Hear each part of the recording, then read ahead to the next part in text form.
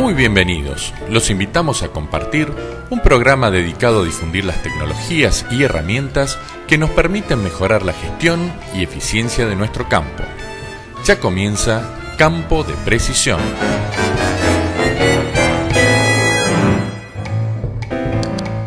Estos son los contenidos para nuestro programa de hoy. Continuamos la cobertura de un curso de agricultura de precisión en el INTA de San Antonio de Areco. Estuvimos en un encuentro del CREA Mar y Sierras y conversamos sobre el manejo por ambientes en la zona. En dicho encuentro conversamos con la gente del INTA Balcarce sobre herramientas para la determinación de ambientes.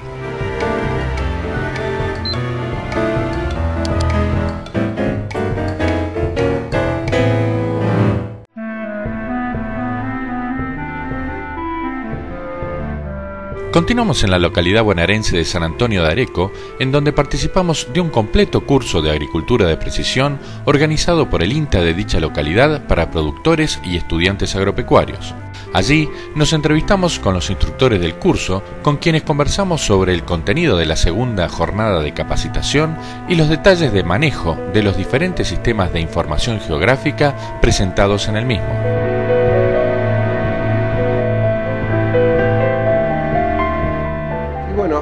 Nuevamente yo soy el ingeniero Ramón Solá.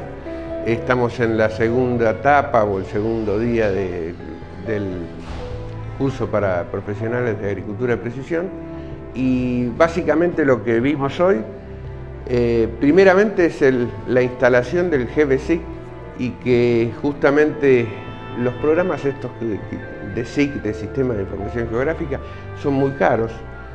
Entonces este es un programa libre que está en español aparte y que a los efectos del curso es como que nos sirve para, trabajar, para discriminar lotes o para diferenciar zonas, zonas homogéneas.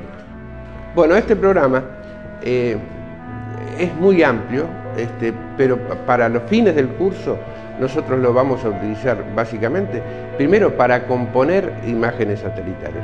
Otra de las funcionalidades que tiene también es recortar imágenes todo georreferenciado, para poderlo colocar en, capas sucesivas y que todo esté, bien georreferenciado. Y, otra de las funcionalidades que tiene es ir poniéndole diferentes colores a las diferentes bandas para poder, este, por ejemplo, diferenciar eh, soja y maíz eh, en pleno enero, este, o sea, cuando están los dos cultivos, sino que no lo podríamos, con tonalidades de grises no lo podríamos hacer. Bueno, eh, estas imágenes satelitales, eh, que por ejemplo, y tomamos como, ejemplo porque es una de las más comunes, las Landsat, eh, tienen seis bandas y cada banda toma una porción del espectro este, y que cada porción descubre o señala diferentes cosas, como por ejemplo vegetación activa, agua, diferentes este, condiciones. y lo que podemos hacer nosotros es a cada una de esas particularidades de cada banda le podemos ir dando distintos tipos de color. Bueno, con este software, aparte de, hacer las combinaciones de los colores y poder discriminar distintos cultivos, este, también permite este, hacer el NDVI o índice verde, lo mismo, son sinónimos, en el que en base a, las, a, dos bandas básicas, el rojo y el infrarrojo cercano, eh, nos da un índice verde que va de valores de mayor verdor a menor verdor. Marcelo López Abando, hoy estamos en el segundo encuentro de, este curso de agricultura de, precisión acá en San Antonio de Areco. Hoy principalmente eh, hemos trabajado en lo que es eh, un, soft para, para, mapas de rendimiento, para trabajar y editar lo, que es mapas de rendimiento.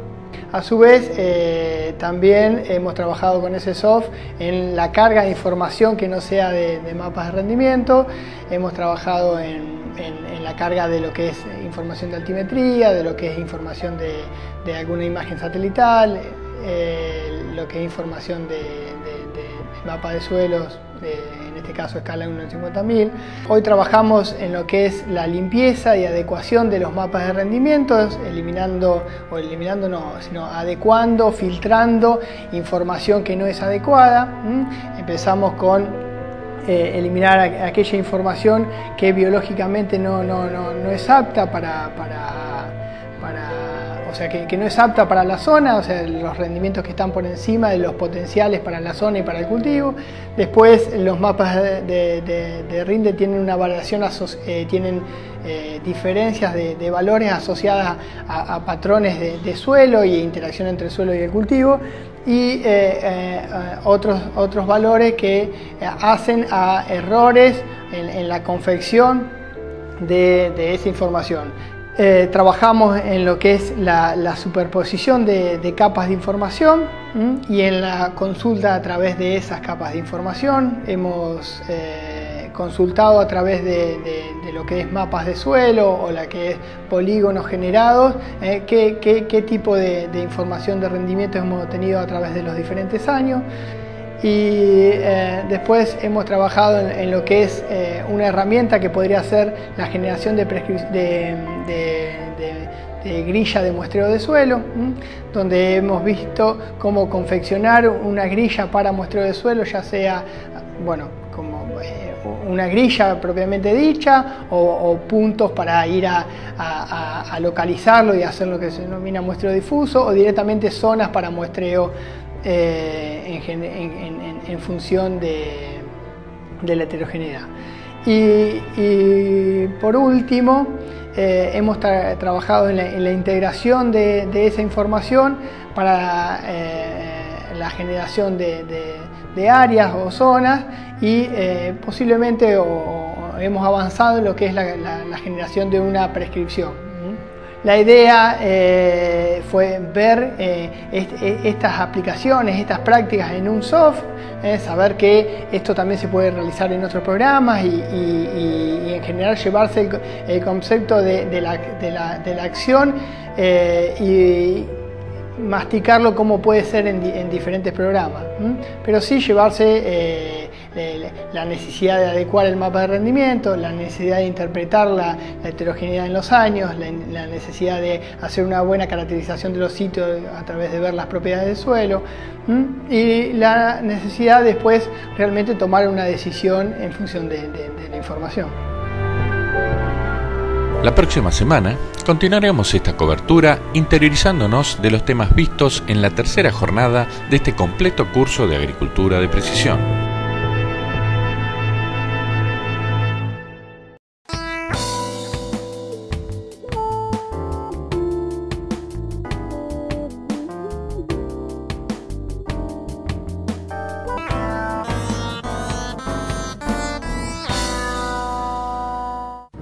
Abelardo Cufie, Agricultura de Precisión, Banderillero Satelital Raven, Monitores de Simbra Agrotax, www.cufiasa.com.ar, Marco Juárez, Córdoba.